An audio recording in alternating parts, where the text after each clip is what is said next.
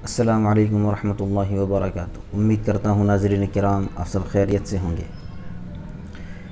एक मिस्त्री की अक्लमंदी का वाक़ आपको सुनाता हूँ। आज से 700 बरस पहले असफ़हान में एक मस्जिद तैयार हो रही थी।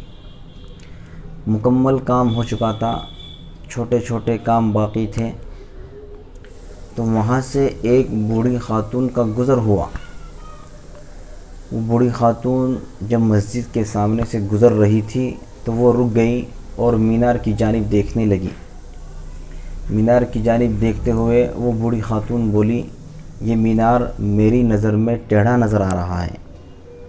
इस पर जो कारीगर वहाँ काम कर रहे थे, वो हंसने लगे कि ये बूढ़ी खातून मीनार को टेढ़ा बता रही है।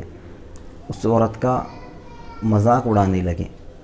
इस पर जो बड़ा मिस्त्री था उसने उन कारीगरों को डांटा, उनको चुप किया और कहा कि जल्दी से एक मज़बूत लकड़ी लेकर आओ, लंबी हो और मज़बूत हो और कुछ मज़दूरों को बुलाओ।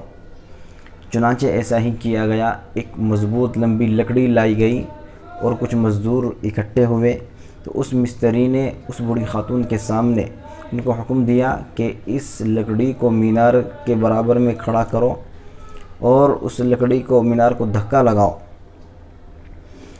जब मज़दूरों ने ये काम किया, वो कर रहे थे तो मिस्त्री उस बूढ़ी खातून से मालूम करते रहे कि क्या मीनार सीधा हुआ, यह अभी टेढ़ा है।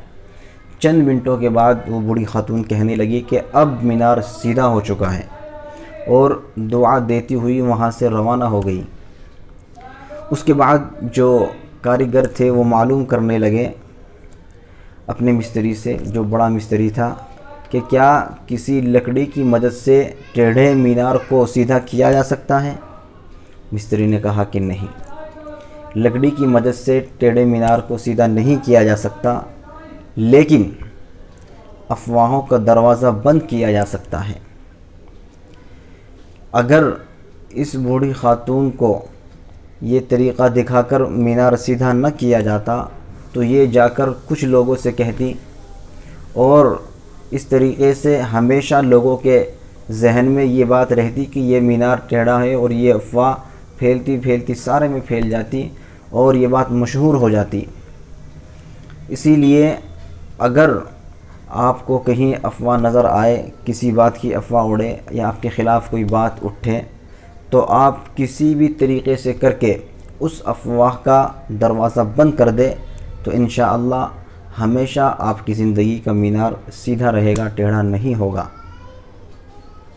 अल्लाम रहमतुल्लाह